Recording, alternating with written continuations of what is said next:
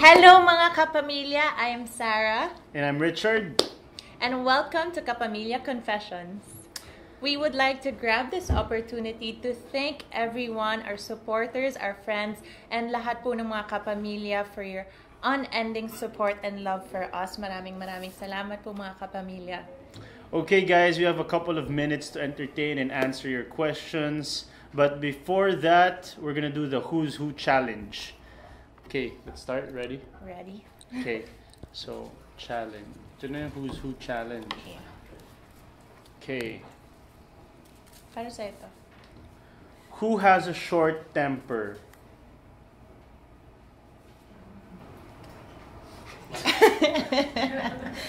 Ooh!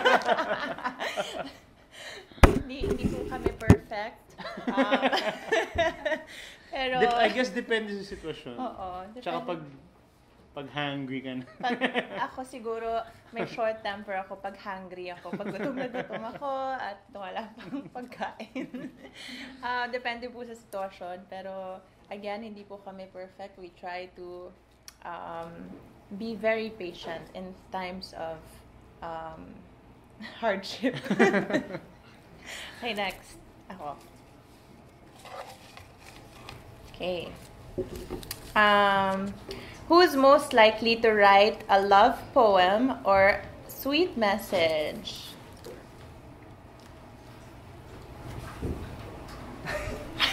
Gulo natin. um, si Chard, he, hindi siya, Hmm. ano? Ako, sagot nga. ko ikaw eh. Sa, ako, pareho. Pareho? Yun, Oo. yun ba yun? Ganun ba yun? Ah. Pareho. Ganun. Ayun. Explanation? Explanation ka ba? Ako si Sarah, parang siya yung mahilig sa mga love books, love movies. But meron ka pang book about poetry, about love and everything. So, siya talaga yun. Mm, hopeless romantic kasi ako. So, pero si Charles, hindi siya vocal all the time. Pero pag sa tamang panahon, like Valentine's Day or Christmas or sa sa special occasions, talagang nag-outpour siya ng love sa amin. So, ayun. Everyday naman yun. Love, wag mo nang ano. Everyday naman. Every day. Next question. Okay. Next.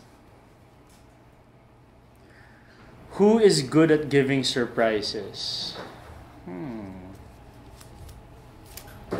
I think si Sarah. I think ako. Alam mo kung bakit? Every time na mag-try akong gumawa ng isang surprise, lagi niyang nalalaman. For some reason, alam niya na may surprise ako sa kanya. ano kasi ako spy. Alam ko lahat na nangyayari. Mahirap ako i-surprise.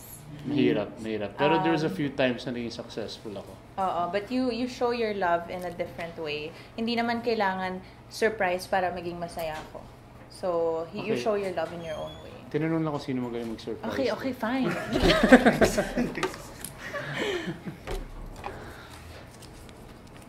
Who is the loudest?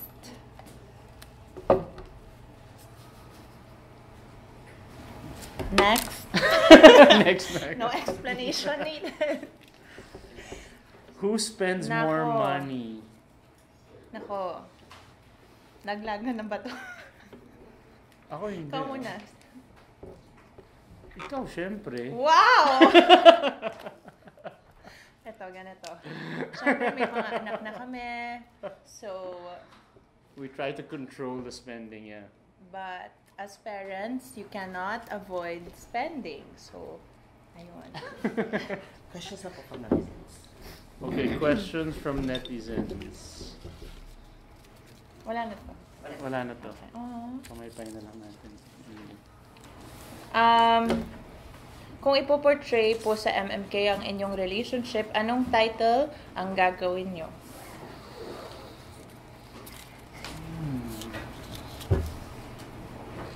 Now watch me whip. Okay. ano? Anong title ng love ng love story natin? Um, Ikaw ang magaling sa ganyan, love. Yon. ano, siguro sa tag, sa English, no matter what. Kasi ang haba ng no matter what happens, we still love each other and we still have each other. So no matter what. Tapos sa Tagalog, hanggang dulo. Ah, diba? Okay. Guys, so pasensya nyo kami. um, from Cassandra May. Hello po, may date na po ba ang inyong engranding kasal? Ano na po yung mga preparations ninyo? Yes, may date na kami. Sana naman, malapit. um. Ano yung mga preparations daw? May date na ba tayo? Meron. Meron. Preparations. Um, dami.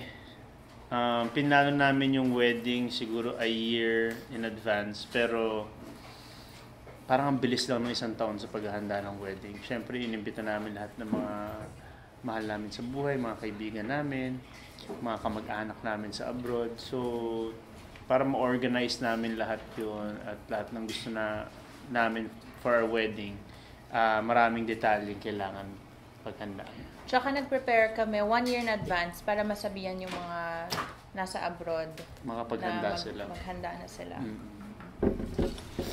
Okay. Okay. Next is from Japet and Shadow. Ano po yung pinaka-rewarding part sa pagiging parents at pagiging husband and wife? Congratulations po. Pinaka-rewarding sa pagiging parents is having them in our life, obviously. And sa mga simpleng araw, going home after work is the best part of the day.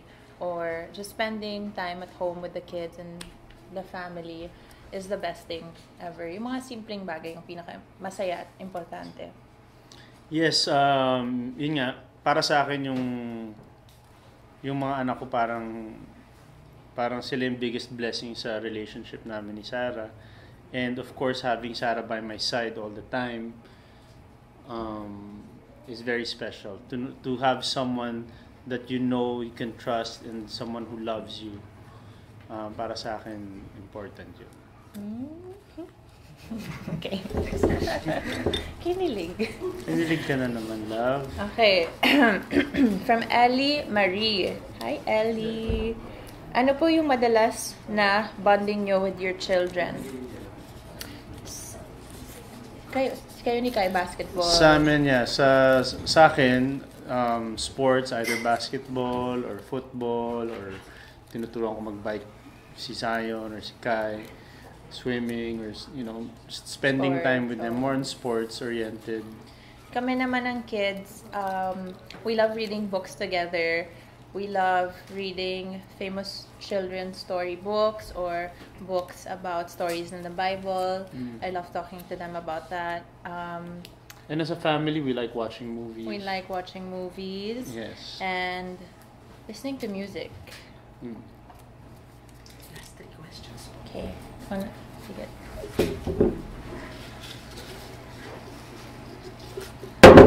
Okay. From Pia Words back. De La Fuente. May chance po ba na magkaroon kayo ng movie or teleserye na magkasama kayong dalawa?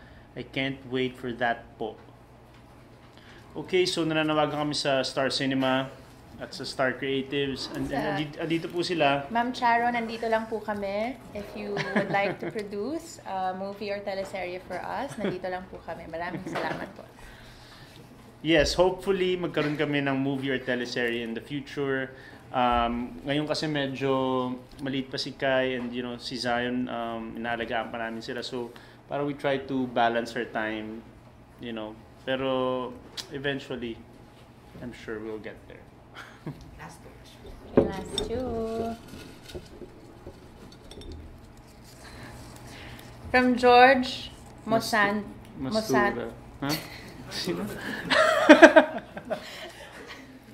Sino? From George... Umayos ka nga. From George Mosanto. Hi, George. Para sa inyo po, what makes love unconditional? Aww. um,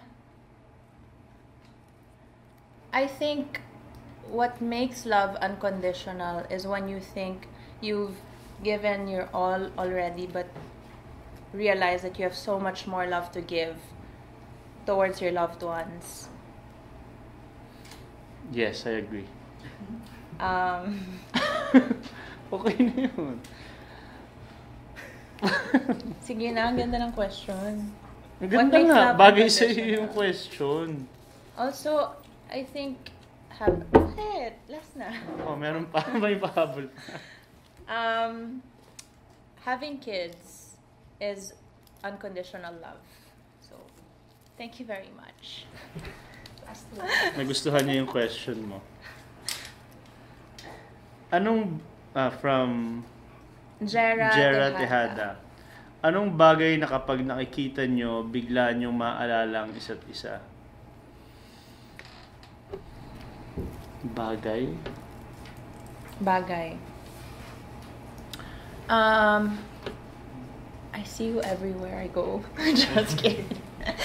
um, anong bagay nakikita? Ano?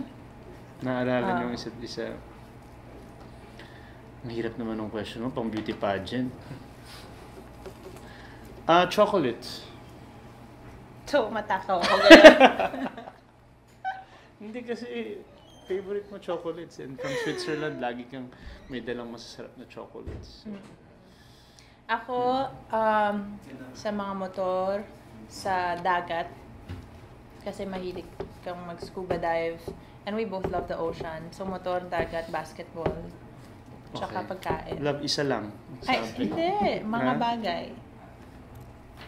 Okay. Thank you. That's it, mga kapamilya. Thank you for watching Kapamilya Confessions. Yes, to watch this episode again, just subscribe to ABS-CBN, ABS-CBN Entertainment. YouTube channel. And for more updates, click the bell beside the subscribe button. Thank you guys.